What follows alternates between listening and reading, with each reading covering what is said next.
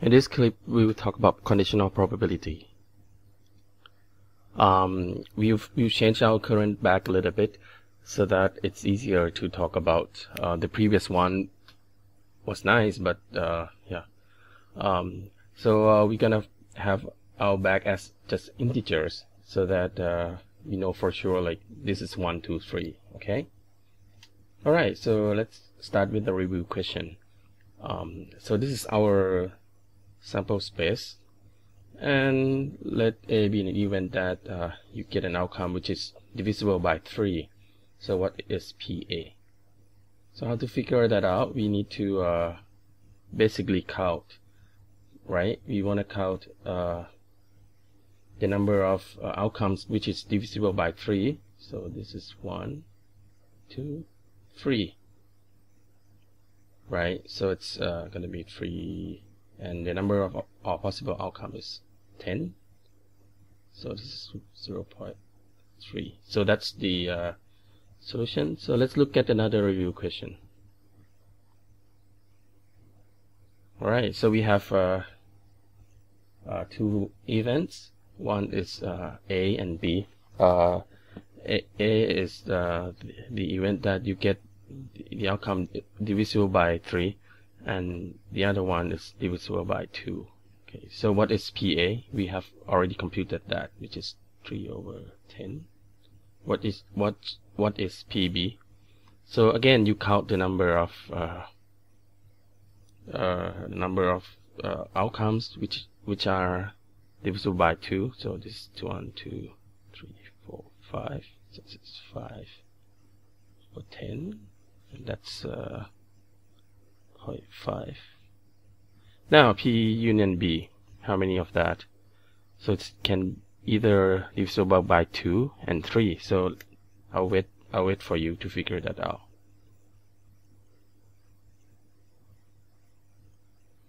Right. Okay the answer is 7 over 10 okay. And A intersection B. So this number is divisible by both 2 and 3 can you find one? Alright, so it's 6. So you get 1 over 10. Alright, so um, this is just a review question. Alright, right, so we, we would look at a, a, a modified situation. Um, so previously we have a bag, right?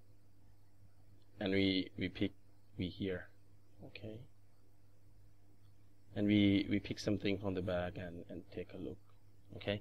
Now, someone just came here and, and take a look at the the object for us first okay? And then he leaks some info, uh, some information is leaked to us. And and and before we see this uh, we we hear something from this uh, person. Okay let's have someone here. And then um, yeah. So that's the situation. Okay someone leaks some information to you before you see the actual outcome. So let's look at one example of that. Uh, suppose uh, we have the same sample space and we have set A be an event that you get an event number. Now suppose that uh, yeah we we already know that uh, probability probability of an event A is uh, one one half. Now but uh, before we know that someone just came to us and say uh, okay uh, the number is not only that uh, you pick this number from the back but it's divisible by 3 okay? Is that uh, is this information is gonna change your beliefs? Or the, is, is it gonna change the probability that you get an an even number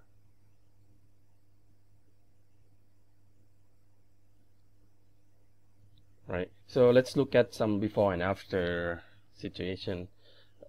Let me note again that by by by telling you some information it probably doesn't change the result but the fact that some information is that way probably has an effect on your beliefs that's what we can think about it. Um, so before you you are you know you're you're interested in this uh, red circle outcomes right um, Now someone tells you that it's divisible by 3. So now what's the picture would look like? You suddenly know that, um, okay, it's not possible for me to get 1. This is not possible. This is not possible. It's not possible for this. Not possible for that. That too and that. Okay. So, um, but what's left is these three guys and they are all equally likely.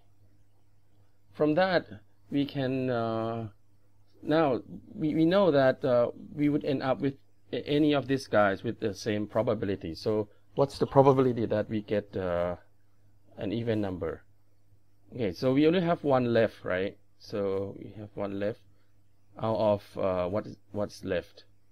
Uh, we only have three possible outcomes.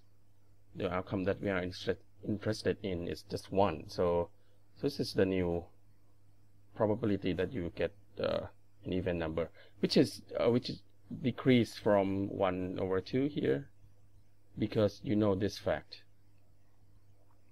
All right. So the concept of uh, conditional probability is probably one of the single most important uh, concept in probability theory. So we would like to spend you know more time on these topics so that you really understand it.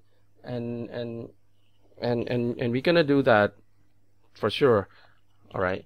So uh, now now we, we look at uh, the probability model which is kind of simple. So maybe it's the example probably won't you know convince you that it's really interesting. So let's look at another uh, example but now we're going to change the model a little bit.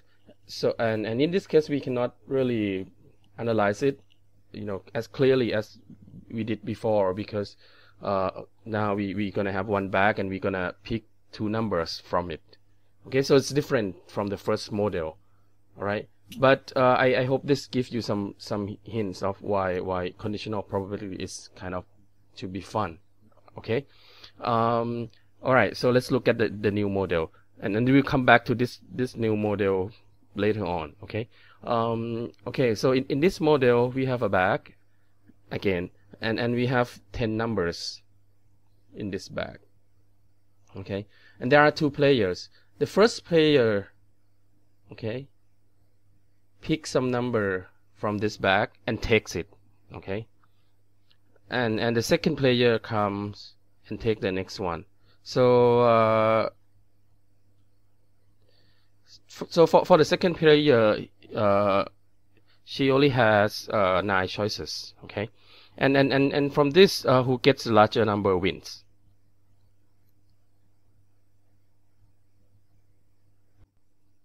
So for under normal conditions, so what if you are a second player? What is the probability that you win? So if we're gonna focus on the previous model, we have to draw like a bag, but then you pick two things from the bag. So how are you gonna reason about that? But but now we, we we're gonna do it informally, all right? So because because there are two players, and and and you get some number, right? First first one get some number that you don't know. The second one second one get, get another number that you don't know either. All right, but uh, these two numbers are, are different. So what's the probability that uh, the second one has a higher number? Yeah, because um, because uh, uh for whatever number pairs of number these two people get, there's another possible outcomes that uh, they exchange number, right? So uh, in this case, picking two numbers, what's the, the probability that one win is going to be like equally likely? So the probability that you win. So we're going to analyze this rigorously later on, but now just believe me. So it's one half. So, because it's, it, it's a kind of fair game. You just pick, each pick one number, different number, uh, randomly from a bag, and you don't know, right? So the probability that you win equals the probability that the other people and the other person win. So yeah, it's one half. Now, suppose that you happen to know that the other person get five. What's your chance to win now?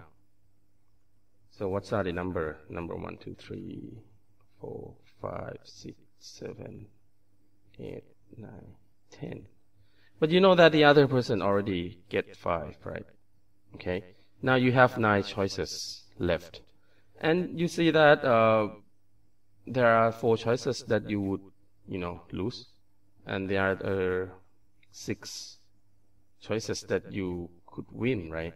So the prob probability that you win is uh, there are four, uh, five ways that you can win out of nine possible choices. So this is the probability that you win, which is a little bit higher than one half, right? A little bit higher. So it's like five, zero point five five five five five, blah blah blah. Okay, that's a good case. So let's look at another case. So if you know that the other person gets seven, so what's your chance to win now? So let's two, three, four, five, six, seven, eight, nine, ten, and this one is gone, right? So the, your your ways to win is three out of nine. So that's just one half. Maybe you don't want to play it this time. So this is the kind of uh, changes that affect uh, your chance to uh, to win and, and your calculation of probabilities because you know something. Let's go back and look at the previous example for, for, for a little bit. Right. Um, in the previous example, we, we, we talk about the, the event that we are interested in, event, event A, which is that you pick an even number. And, and then uh, we, we know that uh, another event, we know that uh, we actually pick uh, a number which is divisible by 3. Now, um, think about, if you think really think about it, uh, you, you can see that the fact that the number is divisible by 3 is also an event. Okay, so when we talk about uh, the probability that you get an even number when the number is divisible by 3, you're, we're talking about two events. One is the uh, when we talk when we say that uh, you get an even number, given that we know that the number is divisible by three, is one over one over three, one third. Uh, we are talking about two events at the same time. One is the event A that we are interested in. Another is event B. Okay, and event B is uh, is the condition on on on on which uh, the event A occurs. Okay, so so so it's about two events. So, okay, do you see that? These are two events? All right, and and and we have a not notation for this. So suppose we have two events, A and B, and the conditional probability of event A, given that B has occurred, is written this way. Okay, you just put this uh, dash, this line here, saying that uh, probability of A given B. So this is pronounced as given. All right, so let's do some example before we finish this uh, segment. Um, all right, so we have an even A to be the even that you pick an even number, and B is an even that the number is greater than 5. Okay, so what is A over B? So first of all, we know that B occurs right? So let's uh, try to kill off all other outcomes which is not in the event B. So it's greater than 5. So bye bye bye bye bye bye. Okay, so you are left with this. Uh, okay, so what is the probability that you pick an even number? So there are one, two, three. So it's three or five. Okay. Now suppose I change this from five to to uh, six. What would it be? Okay. So if this is six, then uh, this one is also gone.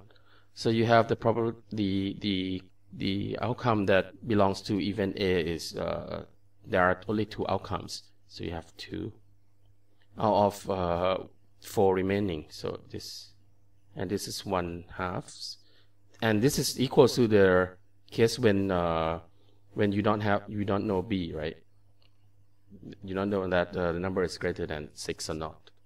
Alright, so let's look at another example. Now, uh, let's A be an even that you pick an even number, and B be an even that the number is a prime number. How to, uh, do you want, well, we want to find a P, A, B. P of A given B, okay? So I'll give you a minute, uh, you know, a few seconds to think. So what's, what's this?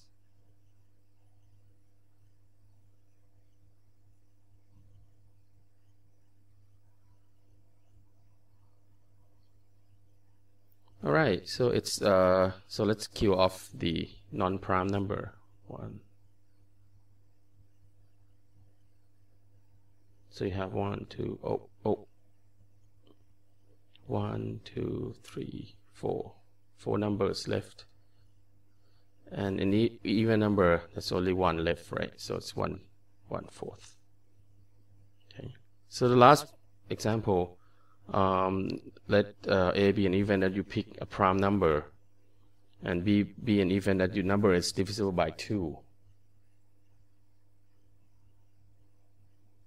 What's the answer?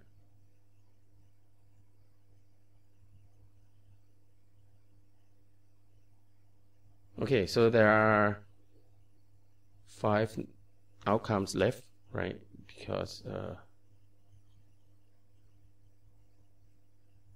and then there's only one. So five outcome left there's only one which is prime number. So it's one one fifth. All right. Uh, from from the previous example uh, we've seen uh, what's the uh, conditional probability. And and we computed probably uh, essentially manually.